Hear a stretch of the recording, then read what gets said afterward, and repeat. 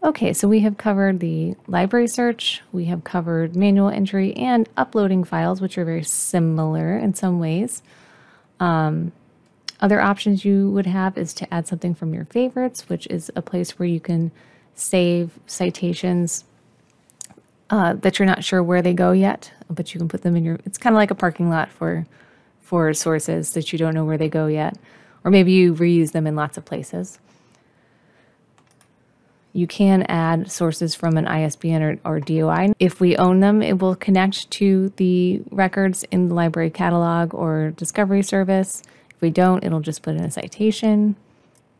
Another way to add sources that is not listed here because it works a little differently is the cite it function. So the cite it option is a bookmarklet that you can use to grab items from your browser.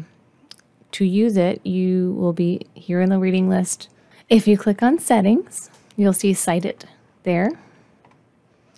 What they want you to do is take this little bookmarklet and drop it on your bookmarks bar, which I'm not showing, but you'll just drag it. Make sure you have your bookmarks bar open on your browser and you just drop it in there and it's going to save that little bookmark.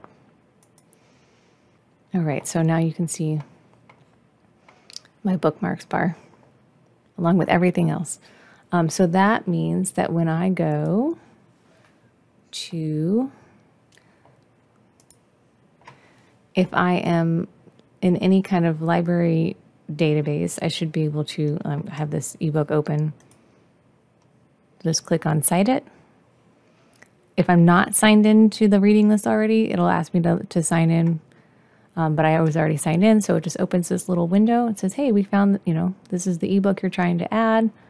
Um, what list do you want to add it to? And it's going to show you all the lists that you have access to. And I am working in my sandbox right now.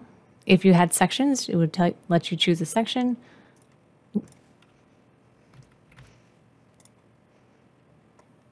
We can go to any page and uh, if, if we find something we want to save, just go to the Cite It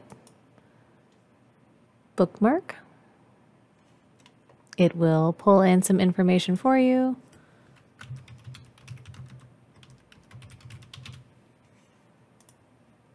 Select your list.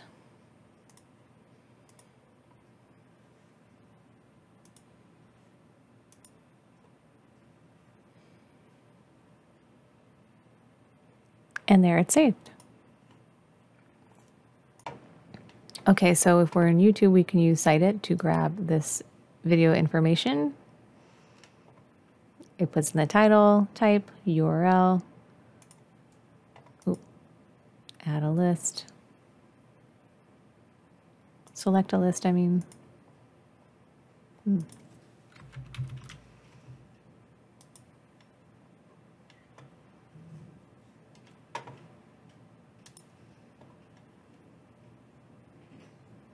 And there's the video that we added. Oh, and it even plays in its own little window if you want.